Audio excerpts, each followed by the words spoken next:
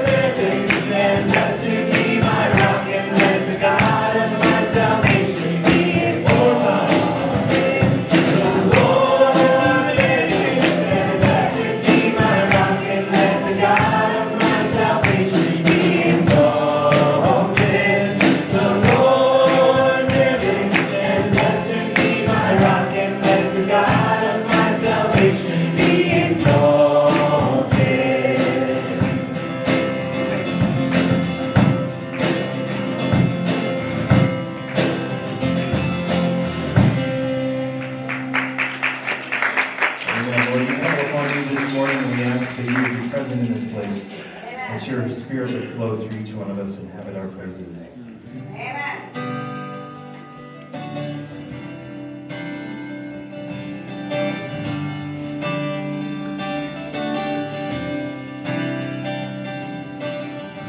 There's a verse in 1 John chapter 4. It says, Perfect love casts out fear.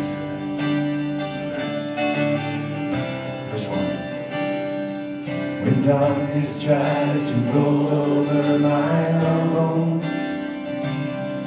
When sorrow comes to steal the joy I own. When brokenness and pain is all I know, I won't be shaken. I won't be shaken. Sing that again. When darkness tries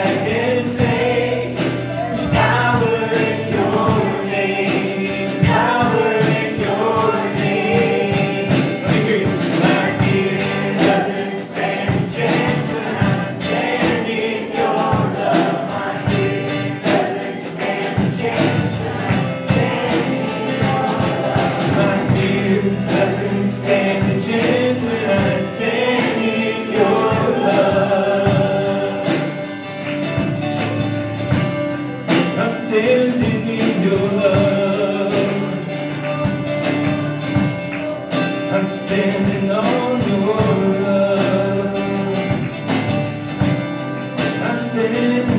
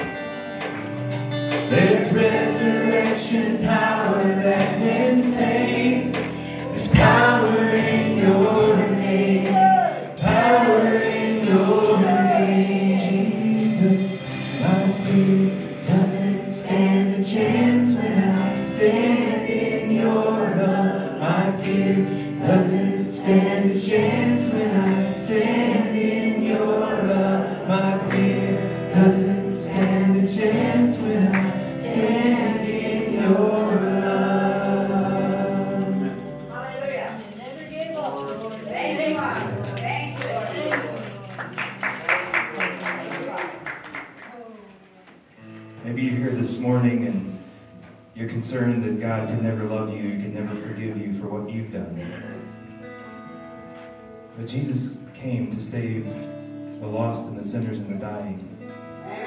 No matter what they were like in life, he didn't seek out the religious and the righteous. He sought out those who needed a Savior. So wherever you are this morning and you're walking your faith journey with Jesus, lift up your heads, come as you are to him.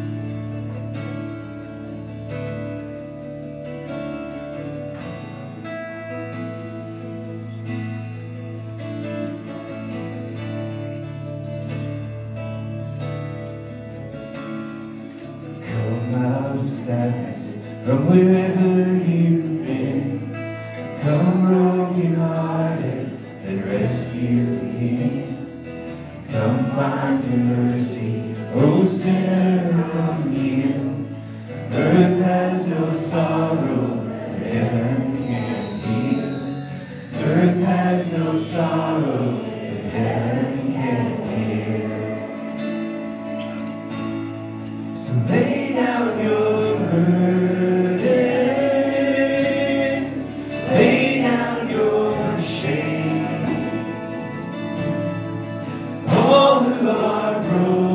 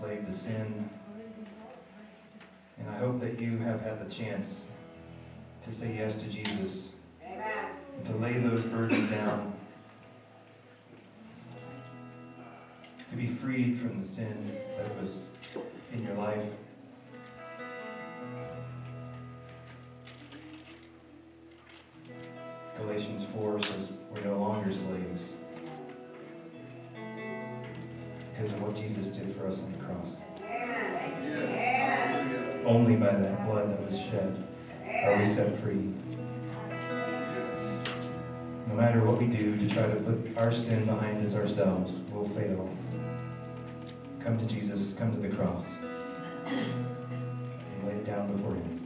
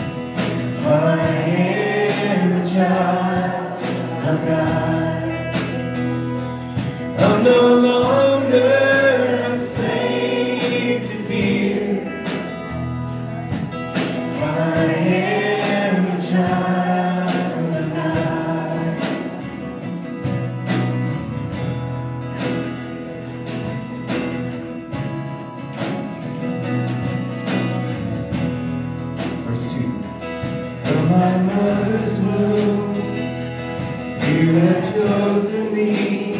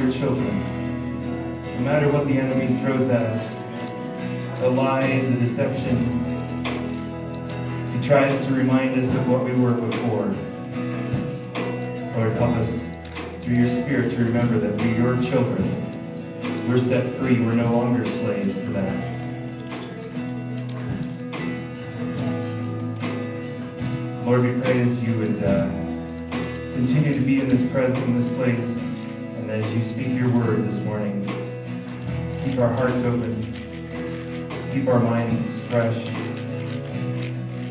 and tuned into your spirit.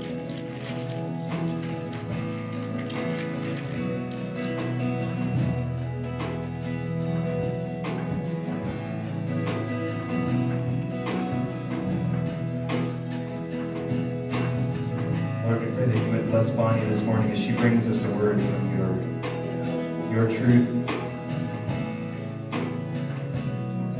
Let us receive it. Let us take that challenge and go out of here and live that challenge every day this week, Lord.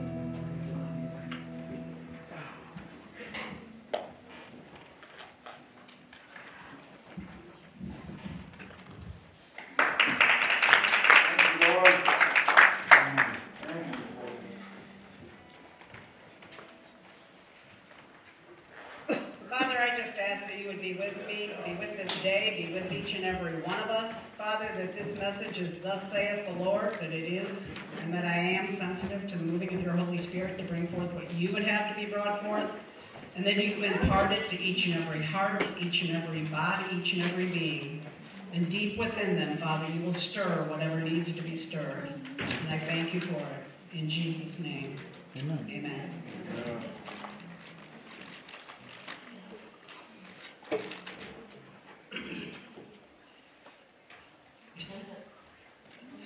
Um, to get started, I guess, I have titled this message, You Are a Good, Good Father. Have a good, good father, basically the same. Um, and the message comes out of my time spent with him over this four years that I have drawn a lot closer and a lot deeper in my fellowship and walk with him.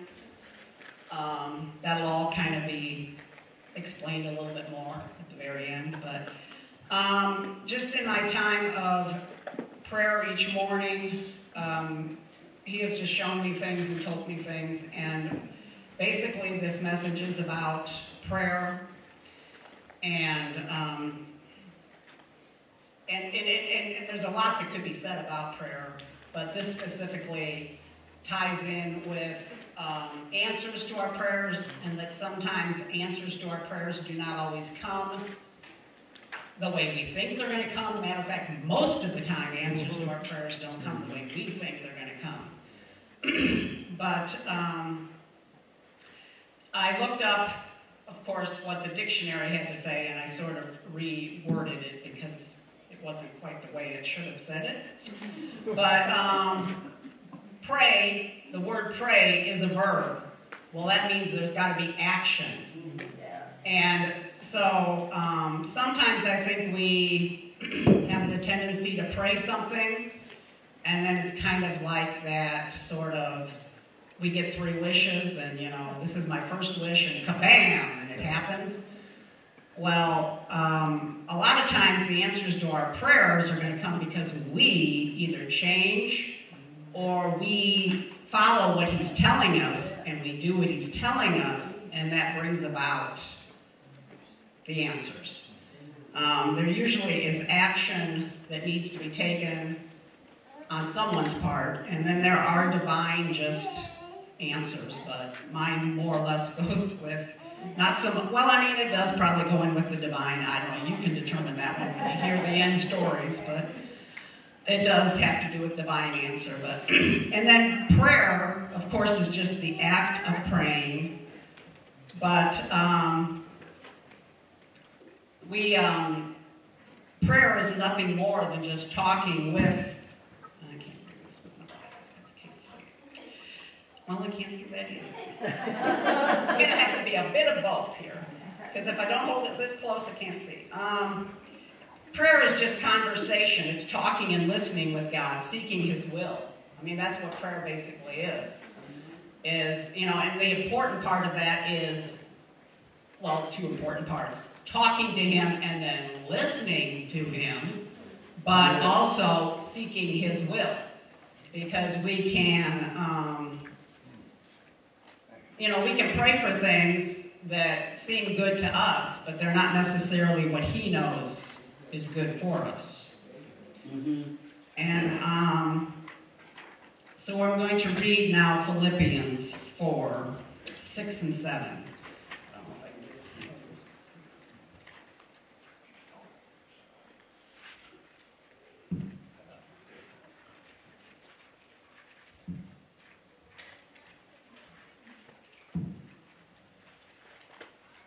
Philippians 4 6 and 7 says, Do not be anxious about anything, but in everything by prayer and petition, with thanksgiving, present your requests to God. And the peace of God, which transcends all understanding, will guard your hearts and your minds in Christ Jesus. Yes. so, um, the other issue there also that when we pray, I can't see you now. yeah. Which is okay, I know you're out there.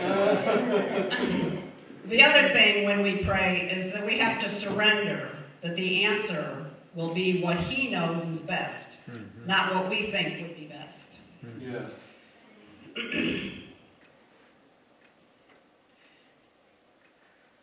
then um, I also have looked up believe, which I think I'm supposed to, I don't know. It, some of this stuff is going to be a little out of order because I'm not, a, I'm sometimes organized, but not so much with this.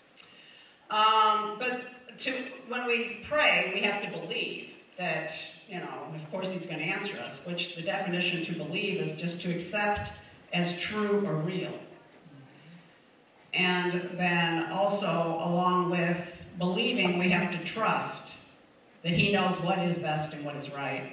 And trust is the firm reliance, confident belief.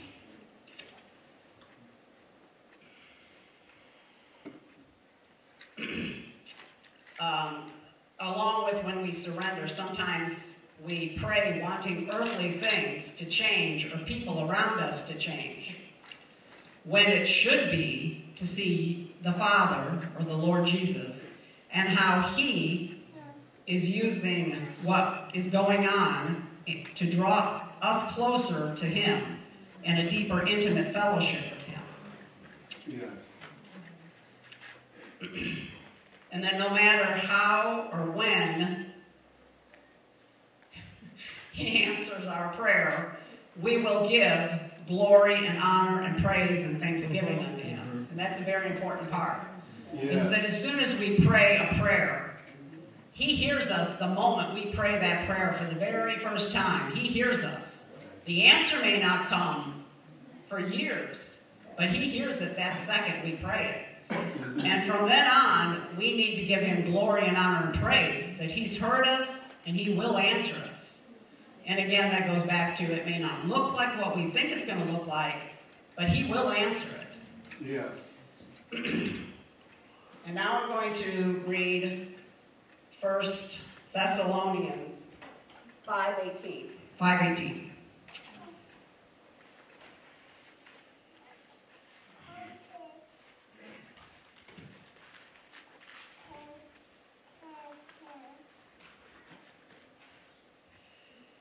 It says to give thanks in all circumstances, for this is God's will for you in Christ Jesus.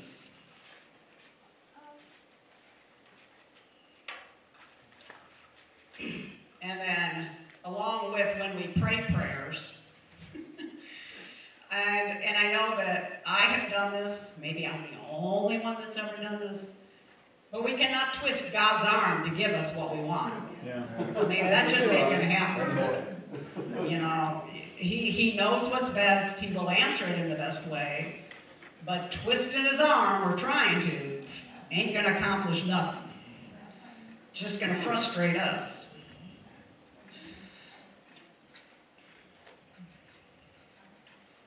And then along with the thought there on prayer, is that um, sometimes we can be in situations, we can be in circumstances that we just have no earthly idea how this can be answered or what to be, you know, what to even ask the Lord for. And so, um, the scripture, which I will read, is Romans 8 26 through 29, but it basically is saying, and that um, when we don't know how or what to be prayed for, we can pray in the Spirit, which is perfect prayer, totally in line with God's will.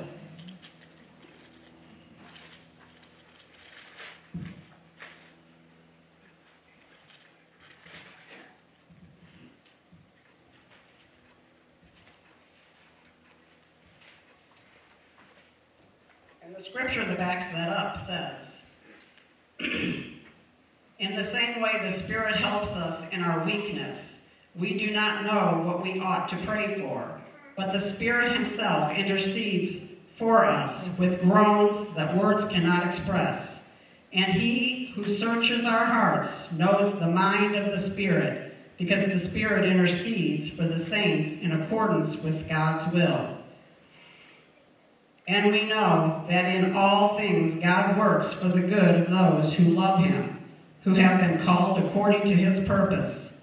For those God foreknew, he also predestined to be conformed to the likeness of his Son, that he might be the firstborn among many brothers.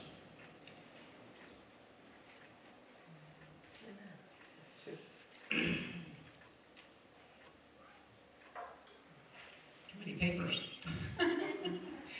Um, so once we have put all these prayers out there, and once we have felt like we have communicated to God what we want God to know, and He does want us to ask. I mean, He knows every need that we have. He knows every situation we're involved in, or our heart's cry. Which, uh, again, in a way, a prayer is just our heart's cry. You know, as we cry out to Him and converse with Him. But God does not all, always answer our prayers the way that, in, in our timing or in the way that we think the answer will come, which I've sort of already said. But, but a lot of times, um, answers don't always come, you know, the way we think they're going to come. And an example of that, which I'm going to now read, is within Acts 12. And it's kind of a long thing, but it's from 4 through 17.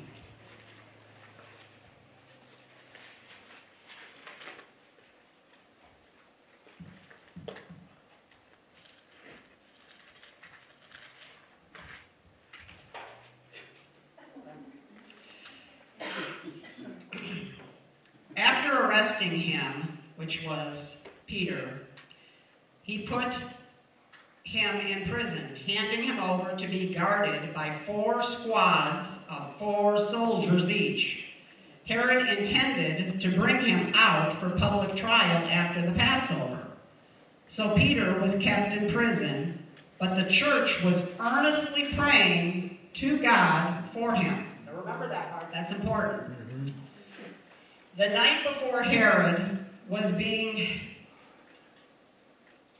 the night before Herod was to bring him to trial, Peter was sleeping between two soldiers, bound with two chains, and sentries stood guard at the entrance. Suddenly an angel of the Lord appeared, and a light shone in the cell. He struck Peter on the side and woke him up. Quick, get up, he said, and the chains fell off Peter's wrists. Then the angel said to him, Put on your clothes and sandals. And Peter did so, wrapped his cloak around him, and followed him. The angel told him, Peter, follow him out of the prison. But he had no idea that what the angel was doing was really happening. He thought it was, he was seeing a vision. They passed the first and second guards and came to the iron gate leading to the city. It opened for them by itself and they went through it. When they had walked the length of one street, suddenly the angel left him. Then Peter came to himself and said, Now I know without a doubt that the Lord sent his angel to rescue me from Herod's clutches and from everything the Jewish people were anticipating. When this had dawned on him, he went to the house of Mary, the mother of John, also called Mark where many people had gathered and were praying. They were praying. That's important. Peter knocked at the outer entrance, and a servant girl named Rhoda came and answered the door. When she recognized Peter's voice, she was so overjoyed she ran back without opening it and exclaimed, Peter's at the door! You are out of your mind, they told her. When she kept insisting that it was so, they said, It must be his angel. But Peter kept on knocking. And when they opened the door and saw him, they were astonished. Peter motioned with his hand for them to be quiet and described how the Lord had brought him out of prison. Tell James and the brothers about this, he said, and then he left for another place. There's a lot that could be discussed about that, but the point of that was they were earnestly praying for Peter to be released from prison. And he was, and then they didn't believe that it was even him. It's like they were praying and didn't believe that their prayer was going to be answered that way. I'm putting my hypothesis to this that they might have thought Herod would reconvene and go, oh, I guess we'll just let Peter go. We don't need to keep him. They were thinking maybe that would be the answer of how Peter would be released. No, God intervened and God used an angel and Peter was released. And when he showed up, they go, no, it can't be Peter. But they were praying for Peter to be released. So there's sort of one answer, I mean, one instance of how a prayer can be prayed, and when the Lord answers it, it's like, huh? You know. Mm-hmm. Yeah.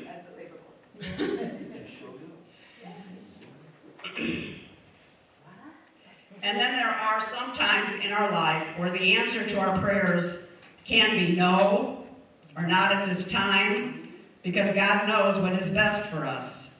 We do not always see the answer right away, which then brings me to Habakkuk.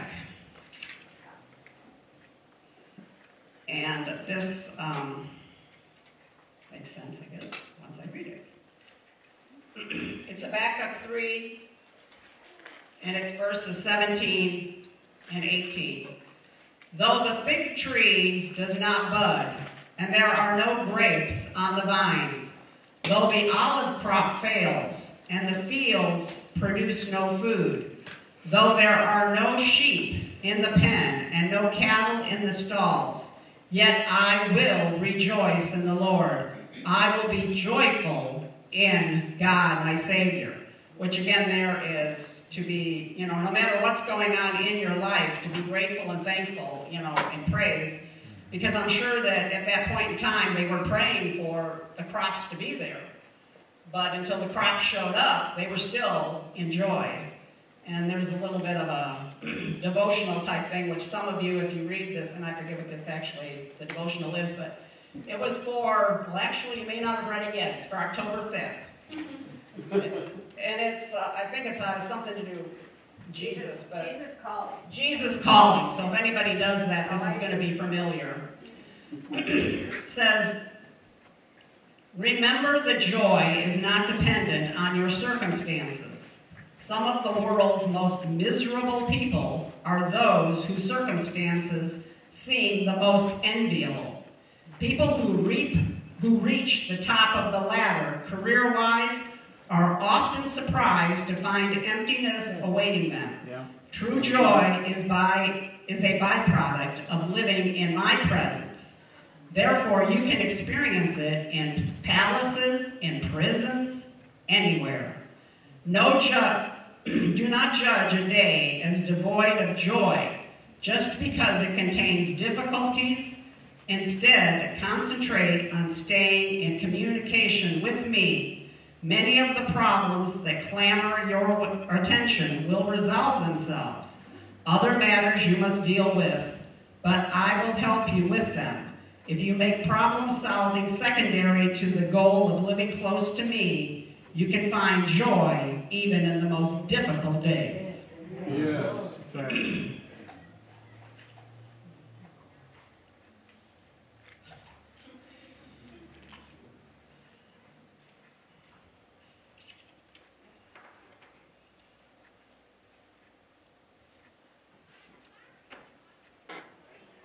And, and uh, sometimes God's answers come to our prayers in a very small whisper. You know, sometimes we're looking for this major, ah, you know, voice. And it's very, a very tiny whisper, you know, so we have to be listening. And um, the example of my own life that sort of brings this out goes way back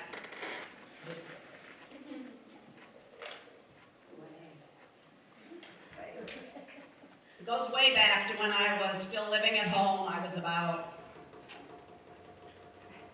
20, 22, 23 years old. And um, my stepmother was in um, very poor health. And at this point in time, uh, could not really even get out of bed. She was on oxygen and wasn't really even getting out of bed. And I was in charge of taking care of the home. There was my dad and two brothers, myself, and I did the cooking, the cleaning, and everything that would be done to take care of the home. Um, and so there wasn't a whole lot of time that I was spending, not that I couldn't have been, but I wasn't spending really with her, you know, because she was in the bedroom and kind of away from the rest of the activities. Well, amongst this time, um, my best friend, which was four-legged and furry, somehow got out of the house, and my friend's name was Shadow. Uh, somehow got out of the house. Well, Shadow had never been out of the house. You know, Shadow was declawed. Shadow knew nothing about the outdoors, or at least this was my thinking. Shadow knew nothing about the outdoors, and um, I don't know how Shadow got out, but Shadow was gone. And Shadow stayed gone for at least a couple of days that might have even been as long as a week. And something else the Lord just recently showed me is that He, he creates all creatures and He knows how to take care of them. But of course, my fear was we lived out in the middle of nowhere, you know, coyotes and traffic and whatever, you know, I feared the worst. You know, went out trying to call for my cat and nothing happened. And it wasn't showing back up. And the Lord spoke into me that I needed to go and spend time with my stepmother. And it had nothing to do with, you know, do, you know, but that I needed to do this. You know, that I needed to go spend time with her.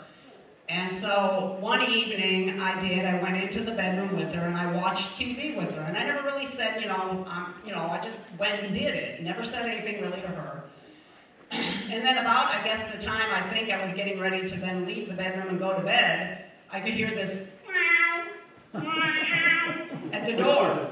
And I knew the second I heard that, that the Lord had, was showing me, you need to do this, and then I will grant the answer to your prayer. Thank you. You know, so sometimes, and that's kind of an odd way, or at least I think in some ways, that's an odd way maybe that you would think for a prayer to be answered. Mm-hmm. But it took action on my part, and then, you know, and who knows, my cat, where my cat was, I mean, I don't know, but anyways, it was back, that's all I know. Thank you, Lord, that was what I probably said, thank you. Amen. Um, yeah, I, I never knew where my cat was, it didn't tell me where it was. He didn't tell me where he'd been. The other, the other story that uh, shows a kind of an odd way, or maybe an odd way, for the Lord to answer prayer, and how the Lord uses songs to answer our prayers. Um, and or speaks to us. It, you know, it may not necessarily come as a direct answer, but he speaks to us very plainly of things in songs, of things he's he's wanting to bless us or do for us, or what he's saying to us. And in, in many ways, if we think about it hard enough, it really is the answer to our prayer. But um, the other thing that happened was more recently, and it was approximately four years ago. And I was in church, it was a Sunday, and for the very first time, we were singing the song, you, uh, you know, Good, Good Father. And in, in the midst of the song, and not that I was really paying a lot of attention to the actual words, but I think the words were hitting me in my, my, my spirit. But um, at this time that I was in church, my husband Fred was very ill, and I had never seen him this sick. And I knew he was very ill, but I also knew that he wasn't one to do anything about being this ill. He didn't want to go to a doctor or the hospital or anything of that nature. So I was real concerned with, you know, what's going to be the progress here. And very plainly in my heart and my spirit, singing that song, I heard the Father tell me that Fred was dying. And it, it wasn't like right that second, but I heard him say that. Well, Fred ended up going, this was Sunday, of course. Monday morning, Fred called the ambulance himself and ended up going to the hospital. And he was having many, many issues and what, and then they ended up passing away on Tuesday. And he passed away from a major brain bleed. But um, was like, you know, I was prepared because God had told me he was gonna die, you know, but I knew that in the midst of all this, he was gonna take care of me. Yeah. And um, many, many things unfolded in how the Lord did take care of me. Um, there were some moments when I wasn't for sure, not that he wasn't taking care of me, but for sure that I wanted to stick around and let him take care of me. um, but then, some weeks later, we sang that song again. And it just brought tears to my eyes because this time I was actually hearing some of the words and what he was speaking to me. And so I'm going to read you the song. it says, I've heard a thousand stories of what you think you like, of what they think you're like, but I've heard a, the tender whisper of love in the dead of night. You tell me that you're pleased and that I'm never alone. You're a good, good father. It's who you are. It's who you are. It's who you are. And I'm loved by you. It's who I am. It's who I am. It's who I am. I've seen many searching for answers far and wide, but I know we're all searching for answers. Only you provide. Because you know just what we need before we say a word. You are perfect in all of your ways. You are perfect in all of your ways. You are perfect in all of your ways. Love so undeniable, I can hardly speak. Peace so unexplainable, I can hardly think. As you call me deeper still, as you call me deeper still, as you call me deeper still into love, love, love.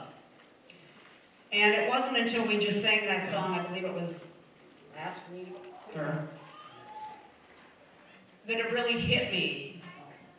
Because every other time we've sung it, I've just ended up crying. But I mean, I was hearing some of it, but I wasn't hearing it.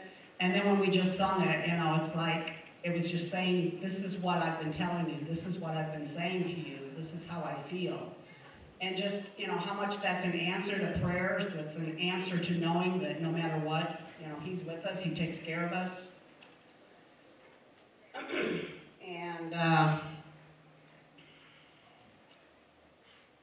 it's just, you know, sometimes I think we, we don't quiet ourselves enough. We don't sit quiet enough to really hear what he wants to say to us or what he's using to say and to speak to us. And um, so, wrapping this basically all up, hopefully that it's stirred something in you, but um, definitely because of my time after Fred passed, I really did have to draw closer to him, and I did draw closer to him, and my walk with him is the closest it's ever been. Um, but I, so basically I just, you know, said that I am today who I am because of prayer. And, Yes. um, you know, prayer can change all things. I mean, there's no, nothing that can't be changed because there's nothing that's impossible for God. Yes. And uh, so we just need to be lifting things up in, in prayer to Him, believing that He's going to answer it, trusting that He knows what's best, and not expecting that we can figure out the answer necessarily, but it could come in a whole different way than what maybe we're thinking it could come or would come. And so that's, that's about it, I guess.